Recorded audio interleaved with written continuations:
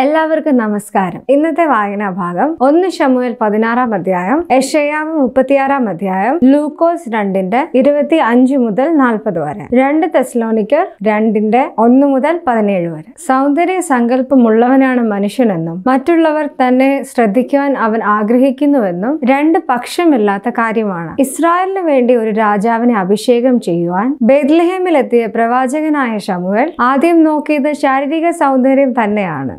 ദൈവം അദ്ദേഹത്തോട് പറഞ്ഞു ഹൃദയ സൗന്ദര്യമാണ് ആവശ്യം ദൈവം പറഞ്ഞത് യഹോവ ഹൃദയത്തെ നോക്കുന്നു എന്നാണ്. പ്രിയ സഹോദരിമാരെ ദൈവം നോക്കുന്നത് മുഖത്തിന്റെ ശോഭയോ ശാരീരിക സൗന്ദര്യമോ അല്ല. മറിച്ച് ഹൃദയത്തെയാണ്. ഹൃദയത്തിൽ സൗന്ദര്യം ഉണ്ടാകാൻ എന്ത് ചെയ്യണം? ദാവീദിനെ കുറിച്ച് പറഞ്ഞിരിക്കുന്നത് അവൻ ഹൃദയത്തിൽ സൗന്ദര്യമുള്ളവനാണ്. യഹോവ അവന്റെ കൂടെയുണ്ട് എന്നാണ്. ഹൃദയ സൗന്ദര്യം വർദ്ധിപ്പിക്കാനുള്ള മാർഗം ദൈവത്തോട് കൂടെ വസിക്കുക എന്നതാണ്. ദുഷ്ടന്മാരും പാപികളും പരിഹാസികളും ഉള്ള ഈ ലോകത്തിൽ അവർക്കൊപ്പം കൂടാതെ നല്ല മനസാക്ഷിയോടെ ദൈവത്തിനൊപ്പം സമയം ചിലവഴിച്ചാൽ നാം ഹൃദയത്തിൽ സൗന്ദര്യമുള്ളവരായി മാറും. ഹൃദയ സൗന്ദര്യത്തിനായി അധ്വാനിക്കുവാൻ ദൈവം എല്ലാവരെയും സഹായിക്കട്ടെ. നമുക്ക് പ്രാർത്ഥിക്കാം. അടിയങ്ങളിലെ ഹൃദയങ്ങളെ അറിയുന്ന ദൈവമേ ഞങ്ങൾ നന്ദിയോടെ അങ്ങേ സ്തുതിക്കുന്നു. അവിടുത്തെ സന്നിധിയിൽ വിശുദ്ധിയോടെ ജീവിപ്പാൻ ഹൃദയത്തിൽ സൗന്ദര്യമുള്ളവരായിരിക്കാൻ അങ്ങ് ഞങ്ങളെ സഹായിക്കണമേ. ഈ ദിവസത്തെ എല്ലാ ആവശ്യങ്ങളിലും കൂടെ ഇരിക്കണമേ. എല്ലാ മഹത്വവും അങ്ങേക്ക് തരുന്നു. യേശുക്രിസ്തുവിന്റെ നാമത്തിൽ തന്നെ. ആമേൻ.